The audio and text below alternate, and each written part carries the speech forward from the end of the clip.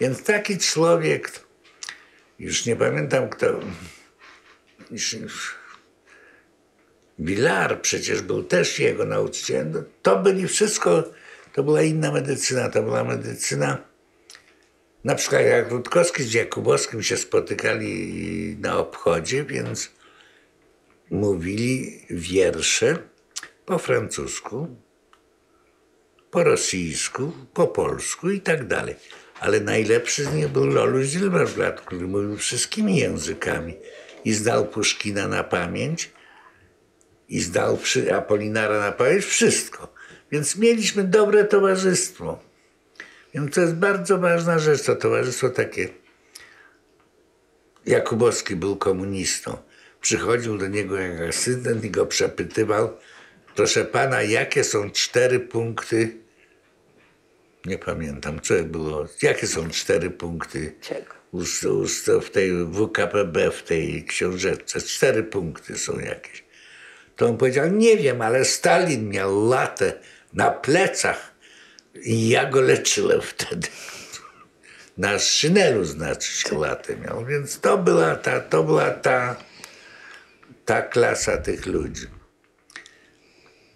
Potem jak aresztowali, taki był u nas chłopak, który był z Wileńskiego AK, który wyskoczył z pociągu. No i po, po roku, po jego, jego, on pracował przedtem u ucznia swojego tatusia, bo jego tatuś był profesorem. Ale przyszło UB, kazało go wyrzucić i ten pan profesor go wyrzucił. I Jakubowski go spotkał na ulicy i mówi, Zbyszek, co ty robisz? A ja mówię, nie wyrzucili mnie. On mówi, to chodź do mnie. Przyszedł do niego, po dwóch dniach go zabrało, czy po trzech dniach go zabrała ubecja i wsadziła do pierdla oczywiście, bo to była czarna reakcja. I Jakubowski y, y, chyba u Moczara wtedy to y, jedną, że go wypuścili.